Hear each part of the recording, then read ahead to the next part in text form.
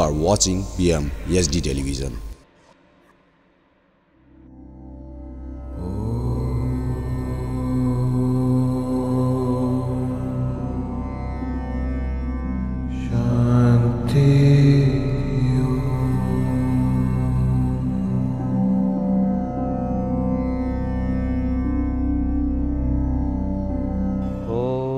दुर्गे स्मृताहरसिभीतिमसे सजन्तुः स्वस्थस्मृतामतिमतीव शुभां ददासि। दारिद्र्यदुःखभयकारिणि हा क्वदन्या त्वदन्या सर्वोपकारकरणाय सदार्द्रचित्ता। शरणाङ्गतदीनार्थपरित्राणपरायणे सर्वस्यार्थिहरिदेवी नारायणी नमोस्तु ते। नमस्कार। बिएमएसडी टेलिभिजनको उषाकालीन प्रस्तुति कार्यक्रम शुभ प्रभातमा यहाँहरूलाई हार्दिक स्वागत गर्न चाहन्छु म शालिग्राम ढकाल। आज मिति दुई हजार छयत्तर साल ज्येष्ठ बत्तिस गते शनिबार तदनुसार सन् दुई हजार उन्नाइस जुन पन्ध्र तारिक ज्येष्ठ शुक्ल पक्ष त्रयोदशी तिथि विशाखा नक्षत्र सिद्ध योग कौलवकर्ण आनन्द आदि योगमा शुभ योग आज चन्द्रमा वृश्चिक राशिमा रहने हुँदा पश्चिम र उत्तर दिशाको यात्रा सफल हुने देखिन्छ। दर्शकवृन्द आज बिहान नौ बजेदेखि साढे दस बजीसम्म राहुकाल समय भएकाले त्यति बेला कुनै पनि नयाँ काम सुरु नगर्नुहोला र यात्रा पनि नगर्नुहोला। दर्शकवृन्द अबको प्रस्तुति उद्बोधनात्मक प्रवचन रहेको छ। म को हुँ मेरो कर्तव्य के हो? म के गर्नाले मलाई शान्ति मिल्दछ सन्तुष्टि प्राप्त हुन्छ? के गर्नाले म यो सांसारिक दुःख जन्जालबाट म मुक्त हुन सक्छु? भन्ने हरेकलाई चाहना हुन्छ दर्शकवृन्द। हामी सांसारिक दुःख जन्जालमा केवल भड्किरहेका छौँ भौँतारिरहेका छौँ। अतः यो भड्किएको आत्मा भनौँ अथवा भौँतारीको यो मन भनौँ यो मनलाई मलम लगाउनको लागि उद्बोधनात्मक प्रवचन। श्रवण गर्नु त्यस प्रवचनमा भनेअनुसारका कुराहरू जीवनमा उतार्नु महत्त्वपूर्ण हुन्छ दर्शकहरू तसर्थ यहाँहरूको जीवनको एउटा अमृतको रूपमा भवरोगको औषधिको रूपमा डाक्टर स्वामी ब्रह्मलिन डाक्टर स्वामी रामानन्द गुरुद्वारा सम्पूर्ण कलिकालमा जन्मिएका जीवात्माहरूको उद्धारको लागि गरिएको अमृतमय उद्बोधना उद्बोधनात्मक प्रवचन अब।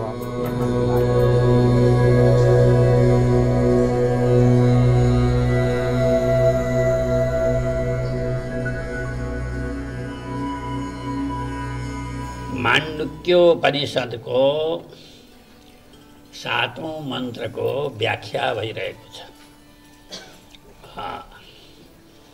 उपनिषद्को सातौँ मन्त्रमा आत्माको चतुर्थ पादको वर्णन भएको छ। पहिलेको प्रवचनमा मैले बताइसकेको छु। वेदान्त सिद्धान्तले त एउटै आत्मा मानेको छ। त्यसको अहिले विवेचन हुँदैछ। एकात्म प्रत्यय सारम। माने एउटै आत्मा छ भनेर वेदान्तले बताएको छ फेरि भगवान् शङ्कराचार्यले मङ्गलाचरणमा त्यो तुरीय भनेर माया असङ्ख्या तुरीयम तुरीय चौथोको त वेदले उपनिषद्ले नै बताएको छ। शङ्कराचार्यले पनि त्यही भन्नुभयो माया सङ्ख्या तुरीयम। चौथो कसरी भयो त? चारवटा आत्मा हुनु पऱ्यो चौथो हुनलाई आत्मा त एउटै छ। कसरी चौथो भन्ने प्रश्न खडा हुनसक्छ त्यसको जवाब स्वयं भगवान् शङ्कराचार्यले मङ्गलाचरणमा दिनुभएको छ माया सङ्ख्या तुरीयम। विश्व तैजस प्राज्ञ। जागतको अभिमानीलाई विश्व भनिन्छ स्वप्नको अभिमानीलाई तैजस सुसुप्तिको अभिमानी र प्राज्ञ यी तिनवटा चाहिँ के हुन् भनेदेखि मायाका सङ्ख्या हुने मायाका कारणले मायाको कारणले ब्रह्म नै इन्द्रिय र इन्द्रियका विषयहरूलाई उपाधि बनाएर एउटा बुझ्नुपर्ने कुरो। ब्रह्म नै इन्द्रिय र इन्द्रियका विषयहरूलाई उपाधि बनाएर ब्रह्म नै विश्वभावमा देखा पर्दछ। वासनालाई उपाधि बनाएर जाग्रतको वासना जाग्रतको वासनालाई उपाधि बनाएर ब्रह्म नै तैजस भावमा देखा पर्दछ। जाग्रतको थुल पदार्थ र स्वप्नको वासनामय पदार्थलाई आफूमा लिन गरेर ब्रह्म नै प्राज्ञ भावमा देखा पर्दछ। जसरी डोरीको अज्ञानले डोरी नै सर्प दण्ड माला जलधारा इत्यादि विकल्पको रूपमा देखा पर्दछन्। कुटस्थ जो आत्मा हो साक्षी कुटस्थ ब्रह्म जे भने एउटै चिज हो। त्यो नै आफ्नो अज्ञानको कारणले गर्दाखेरि इन्द्रिय र इन्द्रियका विषयलाई उपाधि बनाएर विश्वभावमा वासनालाई उपाधि बनाएर तैजस भावमा र जाग्रतको स्थूल पदार्थ र स्वप्नको वासना पदार्थ आफूमा लिन गरेर प्राज्ञ भावमा देखा पर्दछ। यो कुरा शङ्कराचार्य त्यो मङ्गलाचरणमा स्पष्टै लेख्नुभयो। प्रज्ञा नामसु प्रतानै थिरचर निकर व्याप्य लोकान भुक्त्वा भोगान थविष्ठान। थविष्ठ भनेको थुल ग्रस। भुक्त्वा भोगान थ पुनरपि धिषण। धिषण धिषण भाषित भनेको मतलब वासनामय। त्यस कारणले वस्तुत विश्व तैजस प्राज्ञ यी भएका वस्तु होइनन्। ब्रह्म नै आफ्नो अज्ञानको महिमाको कारणले गर्दाखेरि विश्व तैजस भावमा देखा परेको हुनाले एउटा आत्मा छ भन्नुमा पनि आपत्ति परेन। एउटा माताजीलाई भर्खर भर्खर वेदान्ततिर लाएँ कि अलिअलि वेदान्तमा रुचि लिने एउटा माताजीलाई सोधेँ मैले। त्यहाँ तिनवटा बाँझीका छोरा छन्। म स्टेजमा एउटा स्वामी छु। कतिजना भए माताजी? भनेर भन्दाखेरि उनले के जा ठ्याक्कै चारवटा भइहाल्यो नि। बाजीका छोरा तिनवटा हजुर एउटा चारवटा भइहाल्यो। त चारवटा छ त त्यहाँ? एउटै छन्। अब माया सङ्ख्या भनेको त्यो खालि शब्दको झर। त्यहाँ तिनवटा बाजीका छोरा छन् म यहाँ एउटा छु भन्दाखेरि चारवटा भन्ने सङ्ख्या त भयो वास्तवमा एउटा हो। भने जस्तै यहाँ पनि त्यही हो। विश्व तेजस प्राज्ञ चाहिँ मायाबाट खडा भएका भए। तुरीय भएको वस्तु चाहिँ कुटस्थ तुरीय तत्त्व हो भने एउटै त हो। एउटै भए तापनि चौथो किनभने माया सङ्ख्या मायाको सङ्ख्याको कारणले गर्दाखेरि विश्व तेज प्राज्ञ चाहिँ माया खडा भएका हुनाले तिनीहरूको नाम मात्रै हुनु थानु केही पनि छैन।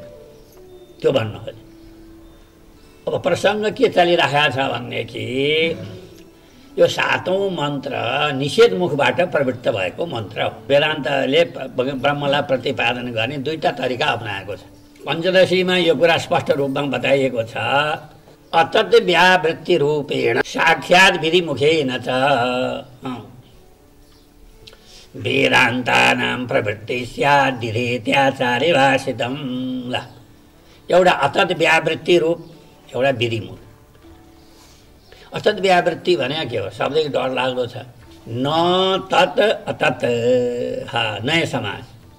न तत् अतत्। व्यावृत्ति भनेको निरसन। अतत् व्यावृत्त्या अतीत पन्थानं तव च महिमा वाङ्मनसयो।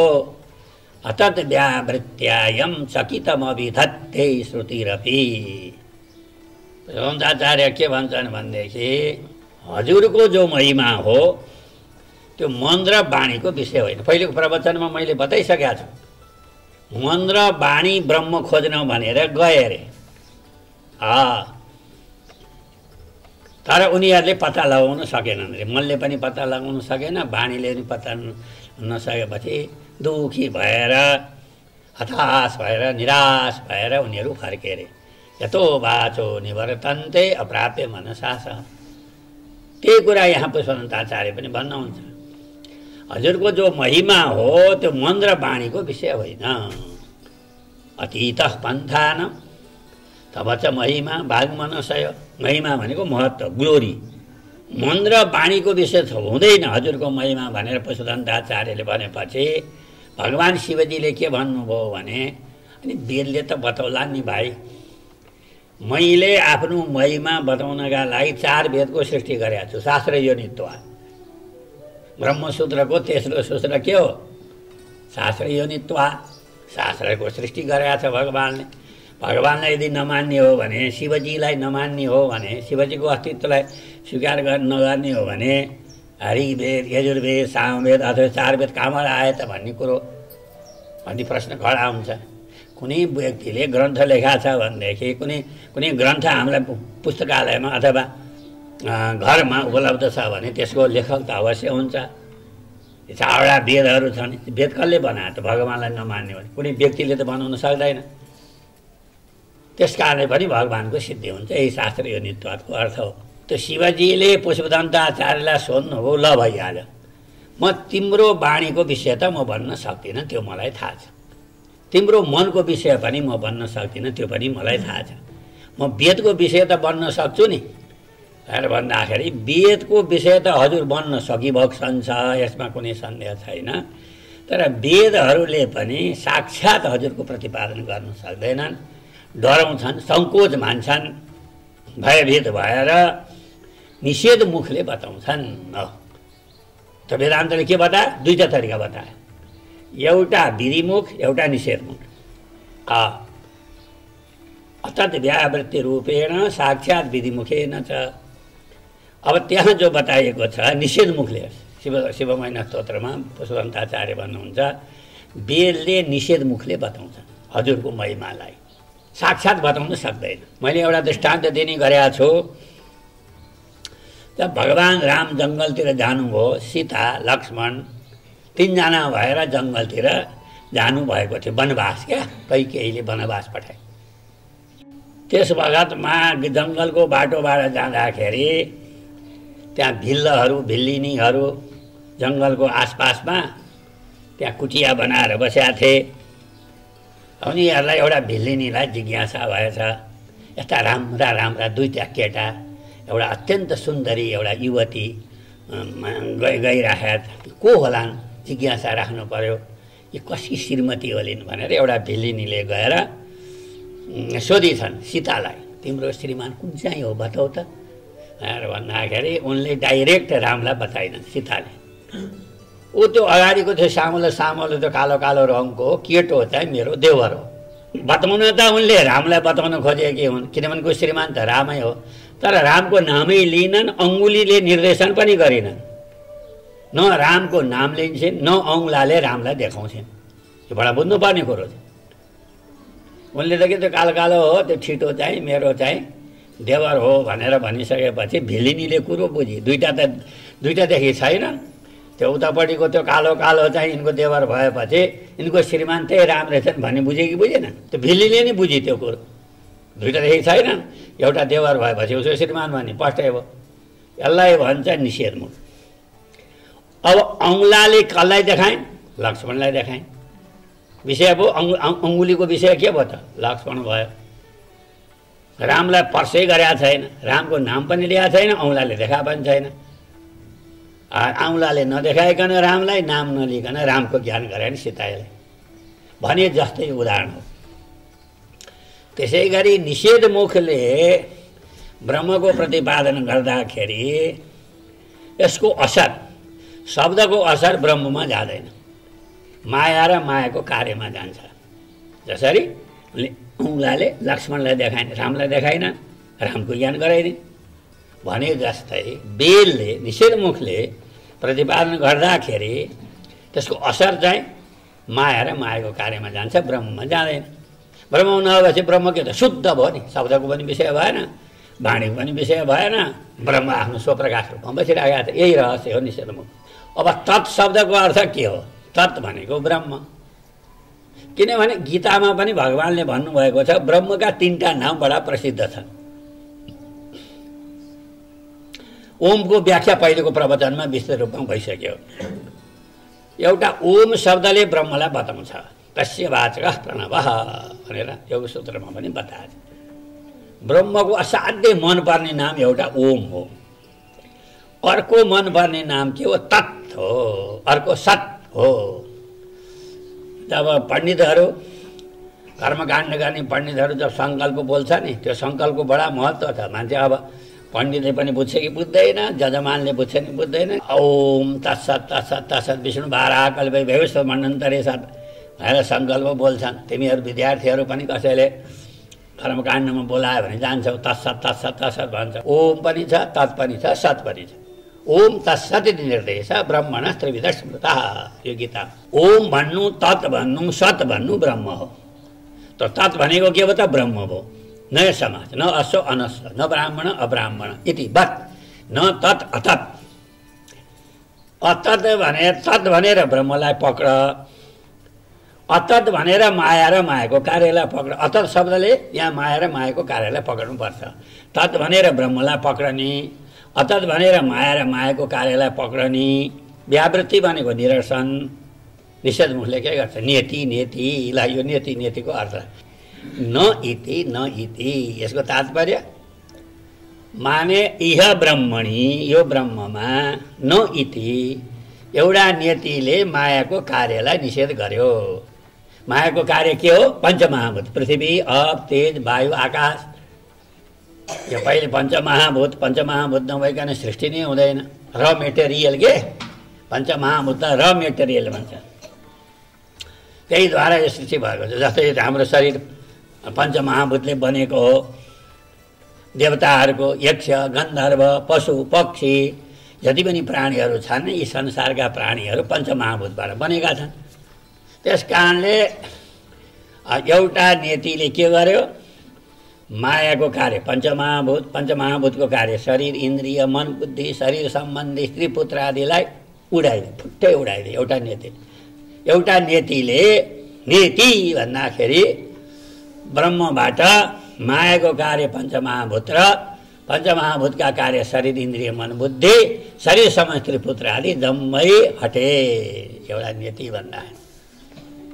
अर्को नियति छ त्यो ब्रह्मको कल्ला पक्रेर ब्रह्मको पछौरा ब्रह्मको पछौरा पक्रेर माया आबुई भनेर आफूलाई बचाउनका लागि त्यहाँ चाहिँ टाँसिएकी थिए डराइ किनभने उसको कार्य सबै नष्ट भइहाल्यो पञ्चमहाभूत पनि नष्ट भयो। पञ्चमहाभूतका कार्य शरीर इन्द्रिय मध्य सम्बुद्धि जम्मै नष्ट। वेदले चाहिँ नेति भनेर बम पड्काइँदाखेरि त आबुई भनेर ब्रह्म गएर टाँसेर बसेका थिए। माया फेरि भगवती श्रुतिले नेति भन्ने बित्तिकै माया पनि भस्म भुट भयो। अहम ब्रह्मास्मि यो कुरो नेति नेति भनेको थियो। खालि नेति नेति मोही पार्ने नेति हो कि के नेति हो?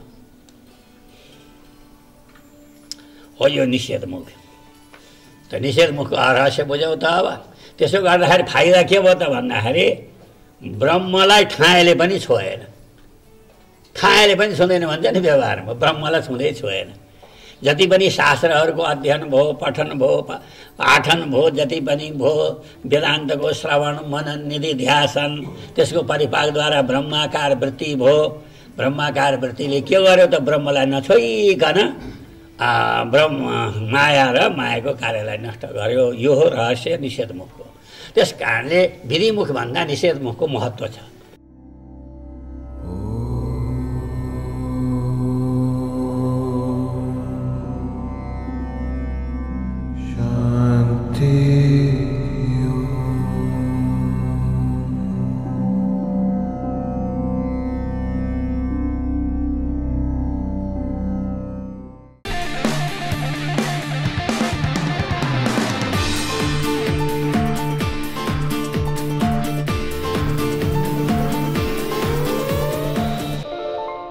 Are watching PM SD Television.